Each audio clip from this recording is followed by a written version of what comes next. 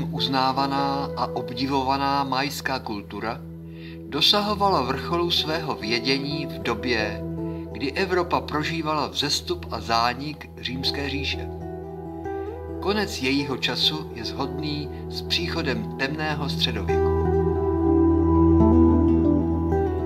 Až dodnes zůstává nezodpověděná otázka, jak dosáhl národ Májů, který se objevil téměř z ničeho a stejně náhle po několika staletích zmizel, v krátké době své pozemské existence neuvěřitelně hluboké vědění a bohatství nejen hmotných, ale i spirituálních poznání, která jsou až dodnes ceněna pro jejich hlubokou moudrost a pravdu.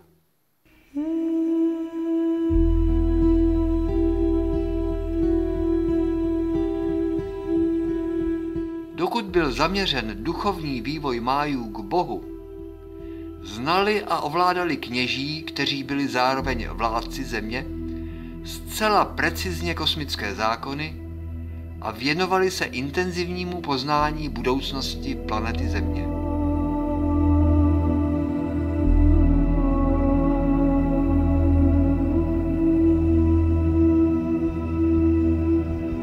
Propočítali přesnou dobu její kosmické přeměny, stejně jako předčasný konec vlastní existence, jež v průběhu času stále více propadala satanskému působení.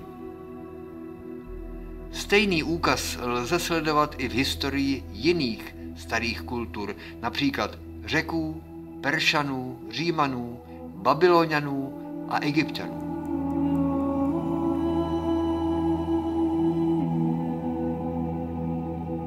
Kdo podlehne luciferským silám, volí propad.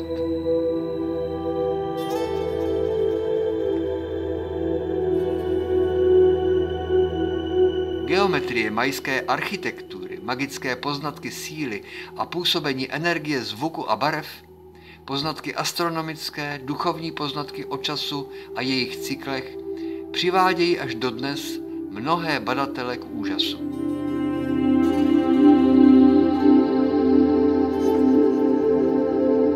Pozemský, hmotně zaměřený archeologický výzkum zůstává národ Májů až dodnes uzavřenou branou. Hodnocení a interpretace nálezů dokazují, že tajemství jejich života zůstává ještě dnes do sebe uzavřeným světem. Májové byli údajně galaktická skupina plejádského slunečního systému Mája. Na Zemi přišli jako výše vyvinutá životní individua.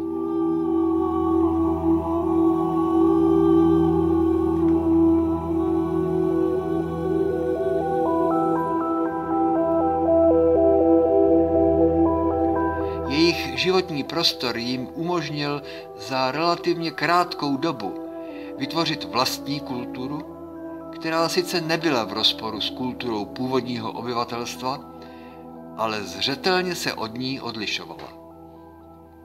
Jedním ze základních úkolů na Zemi inkarnovaných májů byl výzkum Země, slunečního systému a pozemských časových cyklů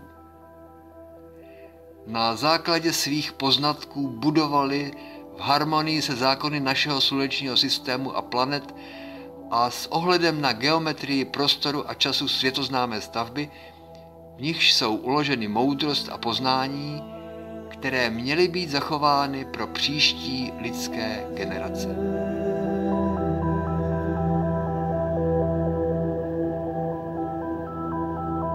Poznatky o astronomických cyklech jsou zakódovány v pyramidách a kultovních místech. Každá stavba měla svoje specifické barvy a kosmické symboly, přizpůsobené úkolům, kterým jednotlivé stavby sloužily. Májové vysoce cenili energii vyzařovanou tóny a barvami jako pomoc v oblasti zdravotní i spirituální. Jakmile uložili ve svých stavbách a kalendářích důležité informace, začali přiměřeně svojí multidimenzionalitě uvažovat o příznivých změnách planety Země.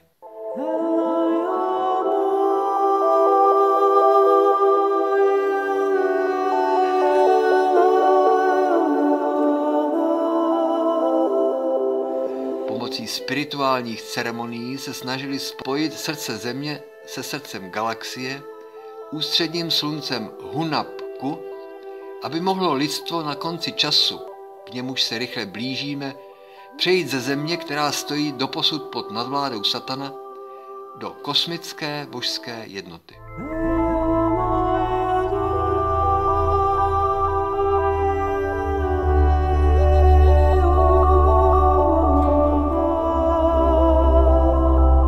Za největší problém lidstva považují májové rostoucí odstup mezi fyzickou a nadhmotnou realitou. Jeho vazba na hmotu ho oddaluje stále více od cíle nejen života vlastního, ale i ostatních životů v kosmu. Spojení s Tvůrcem a vším jeho stvořením v nerozlučnou jednotu lásky a vzájemného bratrství. Člověk dosáhne moudrosti a poznání životů a světů jen tehdy, bude-li schopen vnímat a respektovat obě stránky jeho života. Existenci hmotnou a jí nadřazenou existenci nadhmotnou.